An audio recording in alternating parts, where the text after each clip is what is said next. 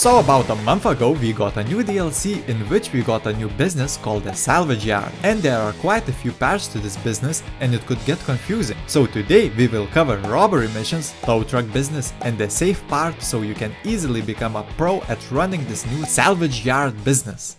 First off, to start the business you will need to go to the Y marker on the map to contact the Yusuf which is the sole creator of the business. After talking to him you will have to go into the Maze Bank foreclosure website to buy the property. There are 5 locations you can choose from, two of which are far away north and are cheaper, but I will highly recommend buying any of the 3 in the city since majority of the missions will be in the city and you won't have to travel as far. I personally chose one right in the center of the city for convenience purpose. When you choose a location, you will get few upgrade options. Trade rates, which will make Mors Mutual claims and repair in LS Customs cheaper. Tow truck, which will allow you to do the tow business part and more on that later. Wall save which will increase how much your safe can hold and it is not worth to buy at all. And staff upgrade which will double how quickly a car can be scrapped from the tow truck missions. I personally would only pick the tow truck for the money making aspect and staff so you can tow cars more often. Now let's get into what will make you the most amount of money, the robbery missions. There are 5 different missions, the Duggan robbery, the Gangbanger robbery, the cargo ship robbery, the podium robbery and the McTony robbery. But there is no way to tell what missions you will get since they are not dependent on what car are you stealing. Only unfortunate part of all of this is that you will only be able to complete these robberies 3 times a week and then you will have to wait until Thursday since it's the day the week resets for 3 new robbery missions. The missions are quite like the auto shop contract where you have the prep missions and then a finale. The missions themselves will take about 30 to 40 minutes to complete and make you anywhere from 260 to 405,000 dollars. But more about how you are going to get paid later. If you're doing the missions for the first time, you will have to do the scope out missions as well, which will require you to go and scope out the place where you will be stealing the car from. But after that, when you repeat the same mission again, you will no longer need to do the scope out missions.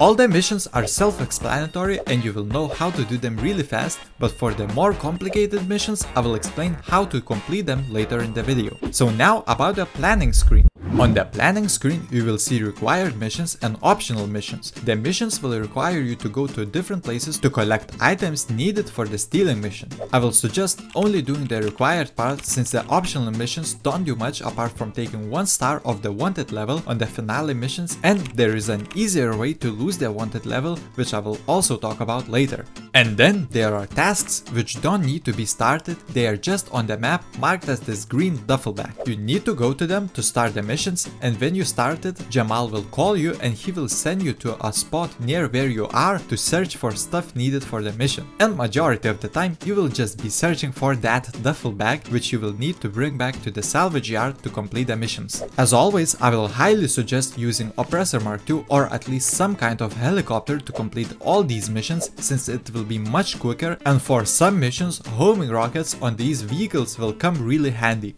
After all the setups are complete, you get to the finale where all your hard work goes to stealing a car. When you successfully steal the car, you will have to go back to your salvage yard to complete the finale. In some missions you won't get cops on you and it will be a breeze to bring the car back, but in others you will get 4 stars instantly. Oh no! Gringe!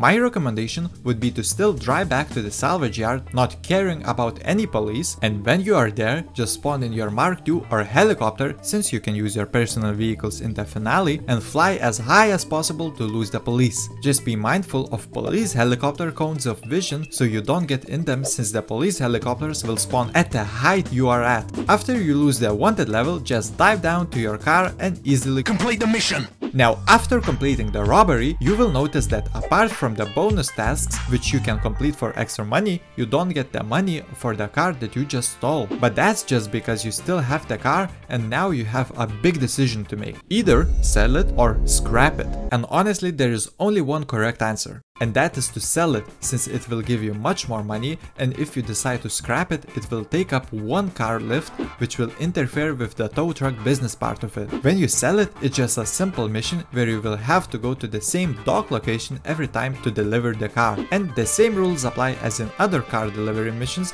where if you hit something, the car will lose some value. But since the road there is wide and without much traffic, you should be fine driving there with no problem. And when you deliver it, then you will get the money you were working so hard for.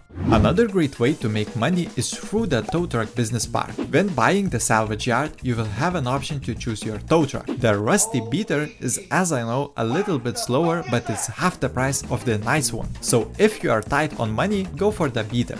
To activate tow truck missions, just jump in your tow truck and start the mission. The missions are quick and fun. They will send you to a location where you will have to pick up a car and then deliver it back to the salvage yard. You can do two tow missions back to back, but then you will have to wait full in-game day, which is 45 minutes in real time, until you can do more towing since the two car lifts will be occupied and that's why I earlier said to not scrap the cars from robbery missions. From the tow truck tows, you will only get paid after the vehicles are scrapped and you can expect from 30 to 40,000 dollars per car. The payout depends on the type of car and this is a list of all the payouts which I will link down below.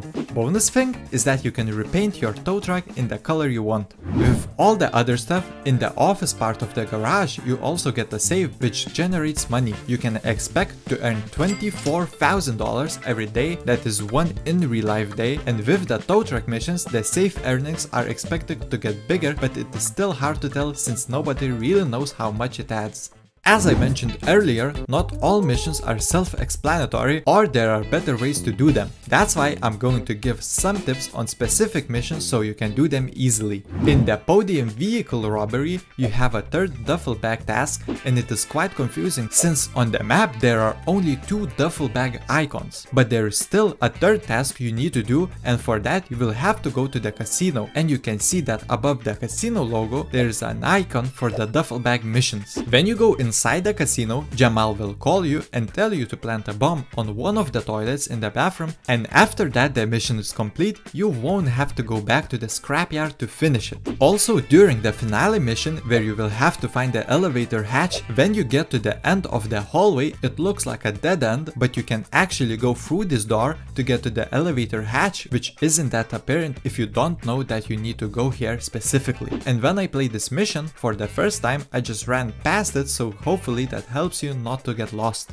For the cargo ship robbery in the finale missions where you have to go to the ship and sneak onto it and go to the helm if you have an Oppressor Mark II or a helicopter you can fully skip through this part and fly straight from your salvage yard to the helm which will be much quicker. The Duggan robbery is not that hard but I just wanted to mention that for the VIP pass setup mission you don't need to be stealthy and using weapons will actually make this mission easier since you won't need to dodge the cameras and there will be only a few police officers that spawn so it is easy to shoot out of. Besides this mission, in the bypass module task you don't need to have the rockets to destroy the signal jammers, you can just shoot them with your sniper and they will explode. Unfortunately, since you can only do 3 missions per week, I wasn't able to get a gangbanger robbery, so if there are any tips for it, I will make sure to upload a short and link it in this video's pinned comment so you can see it. So that's it, hopefully it helps you complete all the missions and understand the salvage yard business a bit more. Tell me in the comments how do you like the new salvage yard business, is it good or not?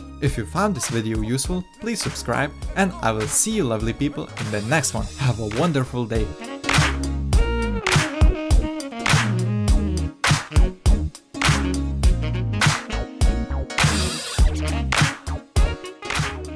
You can just shoot them with your sniper. I fucked that up.